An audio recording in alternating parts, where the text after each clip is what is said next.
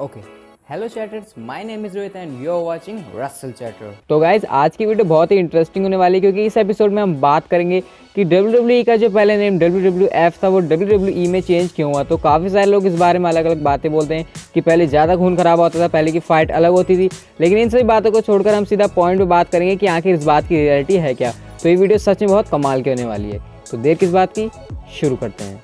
तो guys W का जो नेम डब्ल्यू डब्ल्यू एफ़ से डब्ल्यू डब्ल्यू में चेंज हुआ, इन सभी के पीछे बात है कोर्ट केस की। तो ऑब्वियसली बात है कोर्ट केस है तो बातें यहाँ पर बहुत ही कॉम्प्लिकेटेड होने वाली है। इसलिए मैं यहाँ पर आपको सिर्फ़ पॉइंट पर ही बात करूँगा, जिससे आपको सही तरीके से समझ में आ जाए कि आखिर डब्ल्यू डब्ल्यू का नेम चेंज हुआ क्यों था। तो गाइज़ हुआ क्या था? 2000 2001 के आसपास एक कंपनी जिसका नाम World Wide Fund for Nature है, जो काम करती है वाइल्ड लाइफ के लिए, यानी कि जीव जंतु के लिए, जो जानवर होते हैं उनके लिए।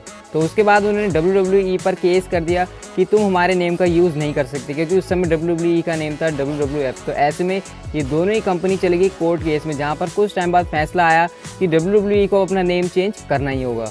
और उसका रीज़न ये था कि World Wide Fund for Nature जो कंपनी है, वो काफ़ी पहले की बनी हुई है। वो कंपनी बनी थी 1960 में, और जबकि डब्ल्यू e जो कंपनी को हम जानते हैं, उसका नेम पहले टाइटन स्पोर्ट्स था, जिसके बाद उन्होंने अपना नेम डब्ल्यूडब्ल्यूएफ में चेंज कर दिया। तो इस बात से वो दूसरी कंपनी खुश नहीं थी, और ऑब्वियसली बात है कि इस केस में World Wide Fund for Nature company को ही जीतना था। लेकिन लेकिन लेकिन बात यहीं पर ख़त्म नहीं होती, क्योंकि डब्ल्यू जो कंपनी है, उसके प्रोडक्ट भी काफ़ी सारे बिकते हैं और वो काफ़ी ज़्यादा एक्सपोर्ट हो चुके थे पूरे देशों में। और वहाँ पर जो ब्रांडिंग थी, वो डब्ल्यू e की नहीं, बल्कि डब्ल्यू की थी। तो ऐसे में भी उसके बाद उनका एक कोर्ट केस चला, जहाँ पर फिर जाकर दो हज़ार तीन में WWE कंपनी e जीती कि वो फ़िलहाल कुछ समय के लिए WWF के ब्रांड के साथ ही अपने प्रोडक्ट्स को बेच सकती है। उस फिर चाहे उसमें गेम्स है काफ़ी सारी चीज़ें, जिन्हें वो बना चुकी थी। अगर ऐसा नहीं होता तो शायद डब्ल्यू कंपनी को बहुत नुकसान उठाना पड़ता, लेकिन खुशी की बात ये थी डब्ल्यू कंपनी के लिए कि वो उस केस को जीत चुकी थी। तो जब कोर्ट का डिसीज़न आ गया तो उसके बाद फाइनली डब्ल्यू को अपना नेम डब्ल्यू में चेंज करना ही था। तो उन्होंने प्रेजेंट भी काफ़ी अच्छे तरीके से दिया उन्होंने वहाँ पर एक स्लोगन बनाया गेट द एफ़ आउट